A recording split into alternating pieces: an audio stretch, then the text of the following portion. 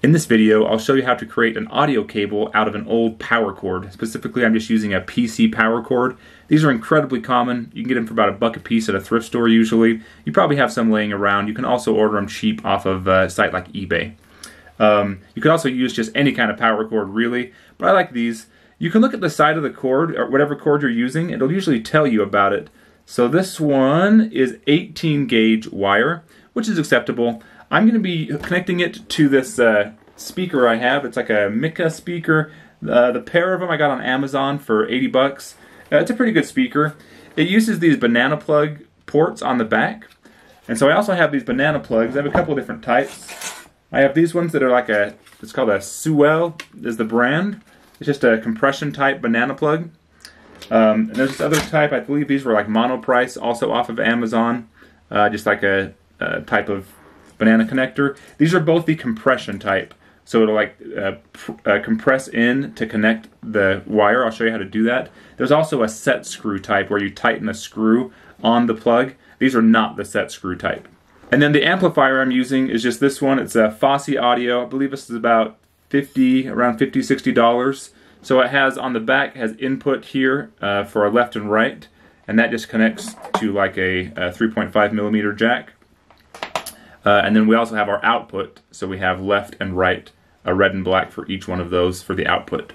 And then this just has an on-off switch on the front, audio, but it's a good, clean uh, amplifier, great for a desktop. So all these speakers are, is, this setup is for hooking into my uh, computer tower to have some good audio for my uh, computer. So let's get started. Uh, I'll show you how to do this. So basically you take your cable, I'm gonna open it up here, and uh, let me move the camera so we get a better view of actually terminating these banana plugs. So the first thing I want to do is take and cut the ends off of here. If you want to actually use this, you could come down a little bit. I might save it uh, just enough that I could possibly use this in the future, this end for something. So we'll set that aside. And then I'm going to come, I really don't need, uh, I think this is like a six foot cable, so I'm going to do it close to the full length. But you just want to cut as much as you need. The shorter the cable, the it'll be marginally better sound quality. Uh, so I just have the ends cut off there, and then we'll strip the, there's an outer layer of insulation, this black, so we'll strip that off first. I just have a pair of strippers here that go from 30 gauge down to, oh wow, these are, these are the wrong strippers. These are 30 gauge to 22 gauge, so these won't even cut the 18 very well. So I'll grab some different strippers. What I'm going to do for this, I'm just going to come around maybe about 3 inches. I'm going to score it a little bit. I'm going to gently kind of squeeze in just so I'm cutting the uh, that insulation there. And after I've scored it around a little bit, being careful not to cut the wires inside, I'm going to bend that back and forth and just kind of pull and see if I can pull that off. And so now we'll just throw that away. And inside here, this particular cable, usually a, a power cord or extension cord, you're going to have these sort of, I believe it's like a strength member maybe. So it just kind of helps protect the cable if it gets pulled or tugged. And it also insulates and separates these wires a little bit. So we can cut all this stuff off. You may or may not have this stuff in yours. So we'll cut that off.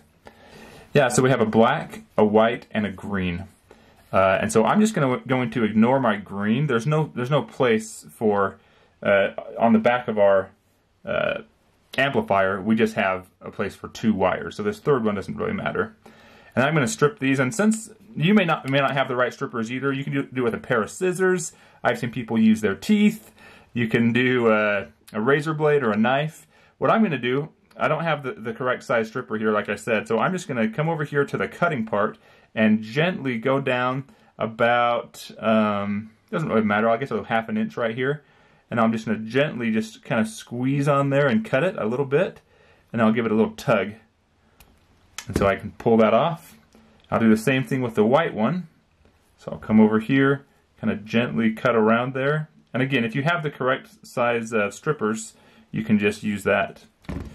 But uh, more often than not, I end up just doing it this method. And so now, I'm not going to twist these too much because for the plugs, I'll show you using each one. These just sort of, uh, if you unscrew it, it's just the same way, um, like righty-tighty, lefty-loosey. So we'll go left here, and you see there's this part, this kind of jagged tooth part here. So this is the top part. We'll set that aside right now. and we'll bring the wire we want and just push it through here. You see it's a hole all the way through. And we'll just push uh, this, kind of let it go all the way through there until it comes out the top.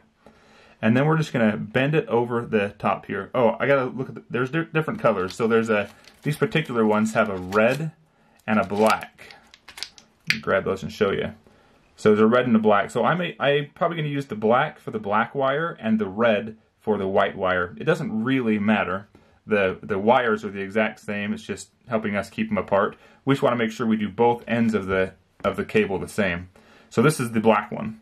So I'm going to put it on the black one instead.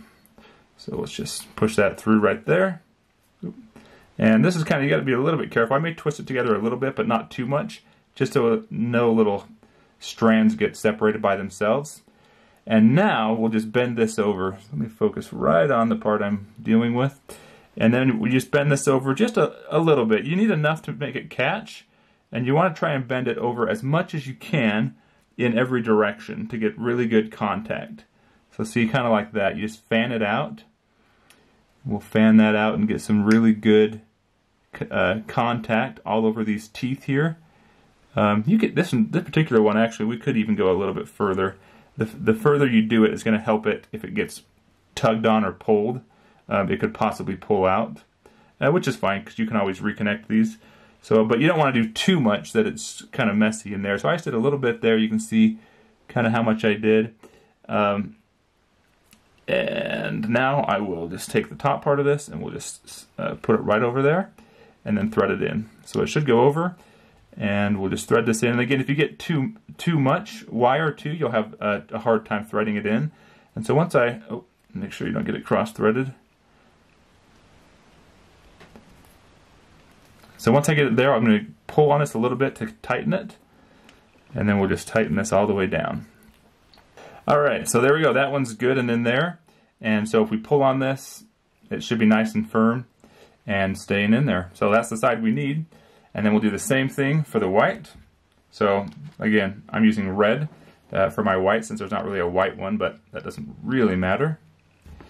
So we'll just push it through here, bend it over in every direction. I'm doing about that, that much is about how much I have sticking out the end. And again, different connectors are kind of different. Some of them don't let you do as much, like these type I'll show you. These type here don't let you do quite as much. Don't let you put as much wire through, or else it'll get in the way of the threads. What you can see is on the inside of here, it's just sort of a rounded thing on the inside, so it kind of rounds and domes and presses over top of that. That's why the tighter we go with this, you'll just sort of pull down and pinch those in there, making good contact. And that's really the, the key is just having really good contact with all of the wires. And you can see, you want to get nice and tight, you can see these are actually, there's some, some space in there too. So these could have much larger, up to maybe like a size 10 or even 8 possibly wire. So, but this will be fine just for my desktop uh, speaker. So we can see, we can bring the speaker over here. So we can see they'll just press right in there. So we have the black and the red we can also check and make sure that they'll fit into the back of our amplifier. So here's the amplifier here. Focusing on that a little bit. So we have red and black, and it's left and right. So we'll just make sure that our black goes with our black, our red goes with our red. Perfect, just like that. All right, so here we go. I've got a sound sample. So this is what it was like before. This is coming out of this monitor. So granted, it's not a great speaker anyway. Not like a super great comparison. But here's switching over to the speakers I just set up with that power cable. So it's a much better. We got this speaker here. We got this one here. I hope you liked this video guys, hopefully it helped you out. The big takeaway from this video should be the cable doesn't matter as much as long as you're not doing something super super cheap and tiny. Uh, but your speakers and your amp are going to make a big difference. So I'd say invest your money, if you're on a budget, invest your money in quality speakers and a quality amp. Uh, and then if you're going to go cheap a little bit or do like a DIY method, uh, go, you know, go cheaper on the plugs and the cable.